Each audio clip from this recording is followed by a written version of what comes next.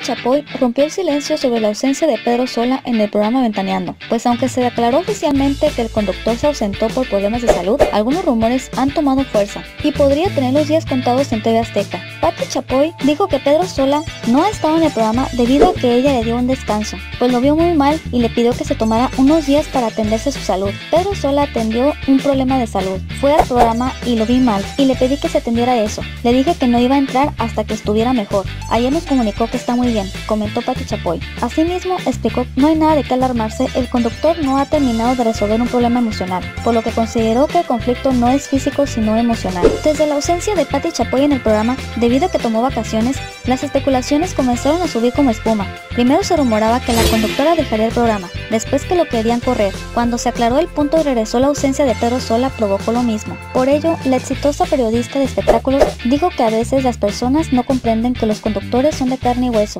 Incluso declaró que hoy Pedro Sola está de vuelta en Ventanilla. No olvides dejar tu comentario, darle like y suscribirte. Nos vemos en la próxima.